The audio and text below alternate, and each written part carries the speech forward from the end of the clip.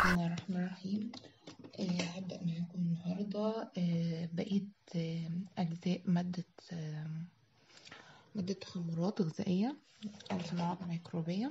تمام؟ آه، مفروض إن إحنا كنا آخر حاجة أخدناها اللي هو إنتاج الخميرة وإنتاج الخميرة. دي كانت آخر حاجة إحنا وصلنا ليها. النهاردة هنكمل عليها وهناخد عندي إنتاج الكحول الإيثيلي تمام؟ production of ethyl alcohol. أول حاجة بيتكلم معايا عن استخدامات الكحول الايثيلي وإزاي إن هو بيدخل عندي في كثير من الصناعات.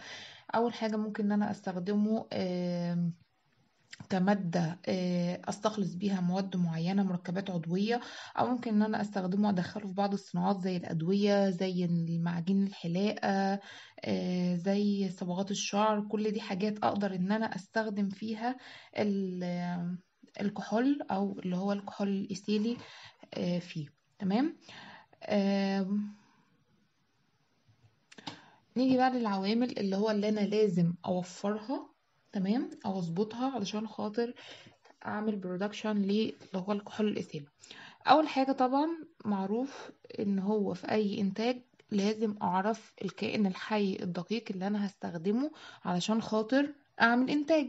فأنا عندي هنا السلالة اللي أنا هستخدمها هي سلالة خميرة اللي هي Saccharomyces cerevisiae تمام؟ لازم السلاله ديت إحنا قلنا ليه بنستخدم السلاله ديت قبل كده؟ قلنا علشان خاطر ان الكفاءة بتاعتها عالية ومعدل النمو بتاعها عالي والثباتيه بتاعتها عالية. كمان ليها قدرة على إن هي تنتج لي غاز ثاني أكسيد الكربون تح- تحلل السكر وتنتج لي ثاني أكسيد الكربون. وكمان آه، ليها قدرة عالية على اللي هو التحمل التركيز العالي من الكحول والخل. تمام؟ يبقى آدي السلالة. الحاجة التانية عندي إعداد البادئ. إحنا قلنا اللي هو البادئ بتاعي اللي أنا هاخده أو ال culture اللي أنا هستخدمها.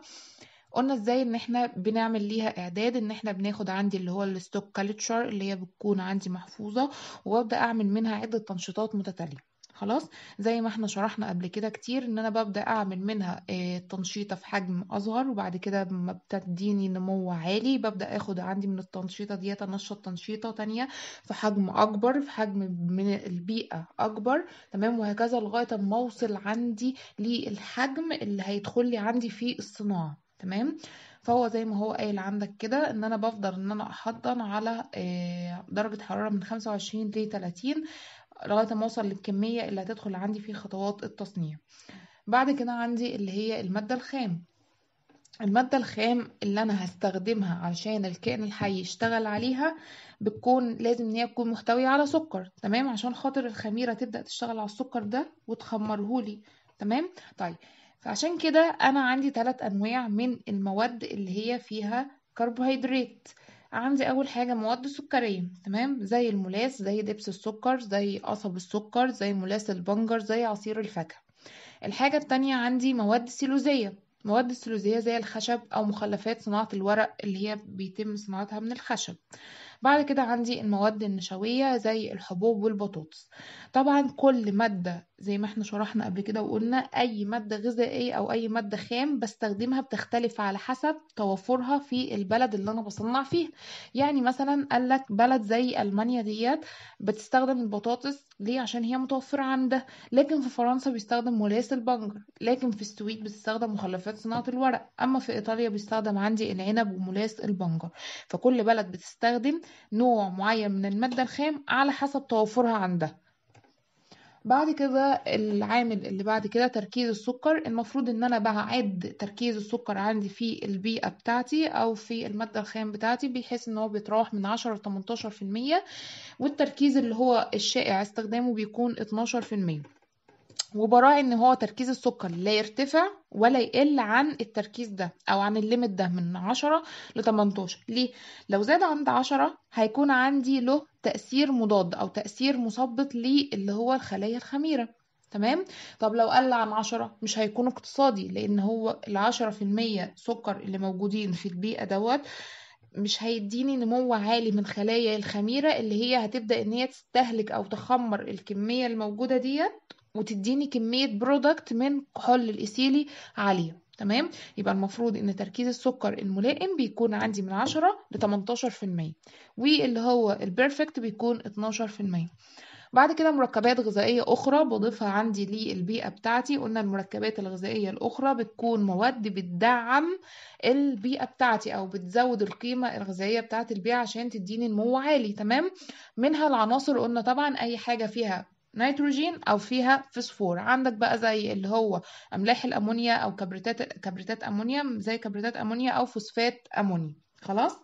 لأن فيها عنصر فسفور وعنصر نيتروجين. فدوت بي- بيدي آه، بيخلي البيئة بتاعتي غنية وبالتالي هتديني نمو عالي بعد كده عندي من العوامل اللي بعد كده اللي هو الرقم الهيدروجين. الرقم الهيدروجيني أو اللي هو البي اتش البي اتش طبعا ده من أهم العوامل اللي أنا لازم أضبطها في البيئة علشان خاطر يديني نمو عالي. ففي إنتاج عندي اللي هو الكحول الايثيلي لازم يكون البي اتش الملائم من بيتراوح بين أربعة لأربعة ونص تمام؟ ليه بقى قلناها قبل كده كتير؟ ليه بيكون عندي الوسط حامضي؟ وخدناها في إنتاج الخميرة قلنا عشان الوسط الحامضي دوت هيكون غير ملائم لنمو البكتيريا فبالتالي مش هيحدث عندي حدوث تلوث بكتيري. تمام؟ طبعا دوت لازم يكون كده من أربعة لأربعة ونص. طيب ليه ما زودش عن كده؟ ما زودش ال- الحموضة عن كده أو أقل بالبي اتش عن كده علشان خاطر ما ينتجليش نواتج تانية. أنا عايزة أنتج حامض آه، آه، sorry كحول إيثيلي يبقى لازم اللي هو الكحول الإيثيلي يبقى تراوح عندي البي اتش من أربعة لأربعة ونص. ما زدش عن كده علشان خاطر لو زدت عن البي اتش أو ارتفعت عن أربعة ونص هيحدث عندي تلوث بكتيري. طب لو قلت عن كده هيبدأ يتجه عندي المسار في إنتاج نواتج أخرى. بعد كده عندي التهوية. التهوية برضو دي عامل مهم برضو من اللي هو العوامل في إنتاج ال- الكحول. طيب أنا عندي في المراحل الأولى أنا دلوقتي حاطة بيئة تمام موفرة فيها اللي هو الظروف الملائمة من تركيز السكر ومن العوامل المساعدة ومن اللي هو البي اتش تمام؟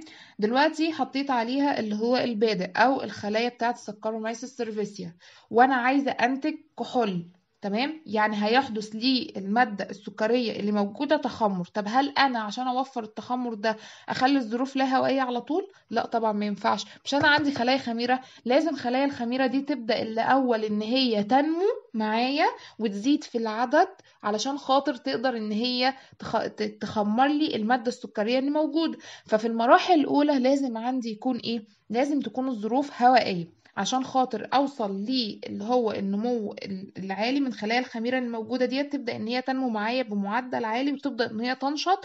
وبعد كده أخلي هتستهلك لما تستهلك كل الأكسجين اللي موجود في المخمر هتبدأ عندي تتجه لي اللي هو إنتاج الكحول الايثيلي في وجود الظروف لا هوائية. تمام؟ طيب. بعد كده عندي درجة الحرارة. درجة الحرارة الدرجة الملائمة عندي بتتراوح من 25 ل 27 طب عشان أحافظ على اللي هو درجة الحرارة ديت ما تعلاش عن كده. بيكون عندي بيحدث عندي إن أنا بمرر المية باردة من خلال مواسير بتبقى محيطة بالمخمر. علشان خاطر درجة الحرارة ما ترتفعش عن الدرجة دي. لأن درجة الحرارة طبعا لو ارتفعت إيه اللي هيحصل؟ أنا عندي كحول قابل للتطاير. فأنا لو رفعت درجة الحرارة حاجة بسيطة هيبدأ إن هو يتطاير معايا. وغير كده كمان درجة الحرارة لما ترتفع هتبدأ إن هو البكتيريا تنشط معايا وتنمو فبالتالي هيحدث عندي تلوث بكتيري. طيب عملية التخمر بقى إحنا ظبطنا المادة الخام وظبطنا كل الظروف الملائمة وعملنا تلقيح بالكمية اللي إحنا وصلنا لها. لقحنا بيها عندي المخمر. إيه اللي بيحصل زي ما أنا قلت قبل كده من شوية؟ إن ال- ال- الخلايا بتاعة الخميرة بتبدأ إن هي تستنفذ الأكسجين اللي موجود جوه المخمر وتبدأ تخلصه لغاية ما توصل وتنشط بقى وتبدأ إن هي تتكاثر وتديني عدد كبير. أول ما بتبدأ إن هي تخلص كل الأكسجين اللي موجود بتبدأ تتجه عندي للظروف الهوائية بتبدأ إن هي تعمل تخمير للسكر اللي موجود وبتحوله إلى كحول ايثيلي العملية دي بتاخد وقت قد إيه؟ بتاخد حوالي 50 ساعة أو أقل على حسب الظروف اللي هي الملائمة. طيب بعد كده عندي العملية ديت المعادلات والمعادلات مهمة جدا طبعا. آه، المعادلات عندي أدي عندي اللي هو الجلوكوز سي 6 اتش 12 أو 6 تمام؟ ده الجلوكوز بيبدأ يتحول. طبعا هتكتب على السهم نوع الكائن الحي اللي هو ال Saccharomyces cerevisiae تمام؟ في الظروف إيه ظروف لا هوائية. خلاص؟ دلوقتي يتكتب على السهم. يبقى أنا عندي سي 6 اتش 12 أو 6 جلوكوز. بيتحول عندي نتيجة ظروف لا هوائية إلى pyruvic acid تمام؟ اللي هو CH3CO COOH تمام؟ ال pyruvic ال acid بعد كده بيتحول عندي لل acetaldehyde عن طريق نزع ثاني أكسيد الكربون بيتحول عندي ل 2 CH3CHO تمام؟ بعد كده بيتحول عندي ال acetaldehyde طبعا كل دوت في ظروف لا هوائية بيتحول عندي إلى CH3 2 CH3 CH2OH عن طريق تحويل تحويل ال NAD H2 إلى NAD. إلى اللي هو ال CH3 CH2OH اللي هو كحول إيثيلي أو ethyl alcohol. خلاص دوت اللي هو المعادلات بتاعة إنتاج عم... بتاع إنتاج الكحول. والمعادلات دي طبعا مهمة جدا بس ما ننساش نكتب على السهم الأولاني آه اسم الكائن الحي الدقيق اللي استخدمناه اللي هو خلايا ال Saccharomyces cerevisiae ونخلي بالنا من ال spelling كويس بتاع ال ال الخميرة. ونكتب تحت ظروف لا هوائية. بعد كده المرحلة الأخيرة أنا دلوقتي تم إنتاج عندي الكحول خلاص وعدى الوقت بتاعي اللي هو خمسين ساعة. ببدأ إن أنا أعمل على مرحلة اللي هي تقطير الكحول. تقطير الكحول أول حاجة ببدأ إن أنا أسحب خلايا الخميرة أو أحصل على خلايا الخميرة. بحصل عليها عن طريق الطرد المركزي. تمام؟ وباخدها بعد كده وممكن إن أنا أجففها وأستخدمها عندي في تغذية الحيوان مش برميها طبعا. الحاجة التانية اللي هو الكحول بقى اللي هو ال main product اللي عندي أو المنتج الأساسي اللي موجود معايا اللي أنا عايزاه ببدأ إن أنا اعمل له مرحلة تقطير لغاية ما أوصل أحصل عليه كله تمام؟ في المراحل الأولانية من التقطير بيكون تركيز الكحول من 60 ل 90% وبعد كده بعمل تركيز اللي هو الكحول اللي طلع لي من مرحلة التقطير ده فبيوصل معايا تركيزه ل 95% بعد كده بعمل له تكثيف علشان أحصل على الكحول المطلق اللي هو الأبسوليوت ألكحول اللي هو تركيزه بيبقى 100% طيب أنا كان ناتج عندي غاز ثاني أكسيد الكربون. هل ثاني أكسيد الكربون دوت أنا هتخلى عنه؟ لا مش بتخلى عنه. ثاني أكسيد الكربون الناتج دوت ببدأ إن أنا أجمعه في اسطوانات وأبدأ إن أنا أستغله في إنتاج اللي هو التلج الجاف. دوت كان اللي هو المراحل بتاعة إنتاج الكحول الايثيلي تمام هنكمل مع بعض اللي هو section بعد كده اللي هو إنتاج الخل. بعد كده عملية إنتاج الخل production of vinegar. بيتم إنتاج عندي الخل بواسطة حمض بواسطة بكتيريا حمض الخليك اللي هي ال Acetobacter aceti. وعملية إنتاج الخل دي بتتم على مرحلتين. المرحلة الأولى اللي إحنا لسه قايلينه حالا اللي هو عملية إنتاج كحول الإيثيلي إن عندي سكر تمام؟ وعندي خلايا ال Saccharomyces cerevisiae اللي هي الخميرة بتبدأ إن هي تخمر لي السكر ده تحت ظروف لا هوائية وتحوله لي إلى حامض إلى كحول ايثيلي تمام؟ آدي المرحلة الأولى. يبقى المرحلة الأولى بيتم فيها تخمر السكر إلى كحول ايثيلي بواسطة إيه؟ خلايا اللي هي ال Saccharomyces cerevisiae آدي عندي السكر أهوت سي 6 اتش 12 و6 بواسطة طبعا على السهم هنكتب Saccharomyces cerevisiae ظروف لا هوائية. بيتحول عندي إلى 2 سي أو 2 زائد 2 سي اتش 3 سي اتش 2 أو اتش اللي هو كحول إيثيلي طيب المرحلة التانية بقى المرحلة التانية بيحصل فيها عندي أكسدة للكحول الإيثيلي اللي حصل اللي نتج دوت ليديني حامض خليك. بس هنا الظروف عندي بتكون ظروف هوائية والكائن الحي الدقيق اللي أنا بستخدمه في المرحلة ديت بكتيريا اللي هي ال Acetobacter aceti ال Acetobacter aceti طبعا عشان هي بكتيريا هوائية بتنمو على السطح بتاعي بتنمو بمعدل كثيف جدا وبتديني غشاء ثقيل أو أو غليظ. الغشاء دوت بسميه اسمه mother of vinegar اللي هو اسم أم الخل الغشاء بتاع النموي غشاء النمو الخلايا بتاعة ال Acetobacter aceti اللي بتنمو على السطح بتاعي اسمها mother of vinegar العملية دي بقى بتتم على مرحلتين. أنا عندي من المرحلة الأولى تم إنتاج أو تم إنتاج عندي اللي هو تحويل السكر إلى كحول ايثيلي المرحلة الثانية بتتم على خطوتين الخطوة الأولى بيتحول عندي الكحول الايثيلي ده عن طريق أكسدته إلى acetaldehyde والخطوة الثانية بيتم أكسدة ال acetaldehyde إلى حمض الخليك. تعال نشوف المعادلات كده. آدي المعادلات عندي أهيت معايا.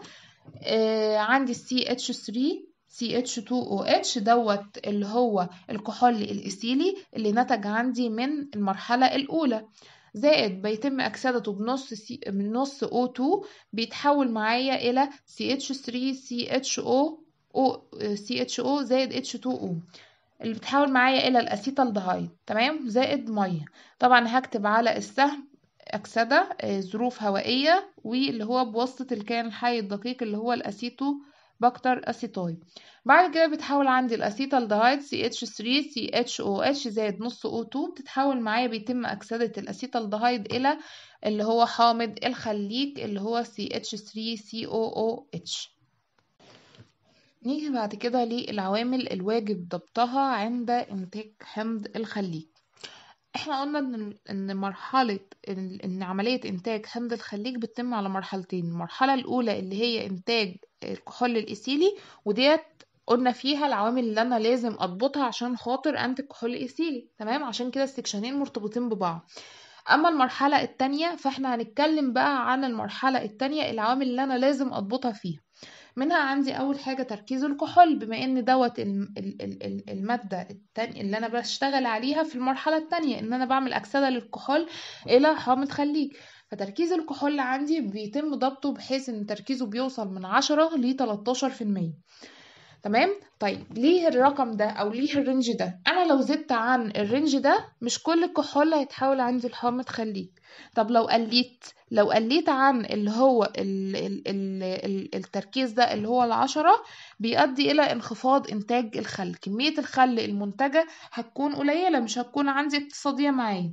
ادي اول عامل اللي هو تركيز الكحول. العامل التاني إضافة الحمض. إضافة الحمض هنا بضيفه ليه؟ عشان خاطر يخفض لي عندي البي اتش أنا بضيف خل عندي بضيف للكحول عندي. خل بنسبة عشرة في المية من الحجم النهائي. ليه؟ عشان خاطر أجعل الظروف حامضية أو أخفض بيها البي اتش فيكون عندي الوسط غير ملائم للنمو البكتيريا وبالتالي مش هيحدث عندي تلوث بكتيري. الخطوة اللي بعد كده أو العامل اللي بعد كده عندي التهوية. التهوية هنا مهمة جدا. أنا عندي العملية أو المرحلة التانية ديت بتعتمد على هي كلها عبارة عن مرحلة أو عملية أكسدة إن أنا بأكسد عندي الكحول. فبالتالي لازم عندي إن يكون التهوية جيدة ويكون طبعا ال- الهواء اللي موجود بيكون منقى قبلها. زي ما إحنا قلنا قبل كده خالص لازم عمليات التهوية أو الهواء اللي داخل للمخمر لازم إن هو بيكون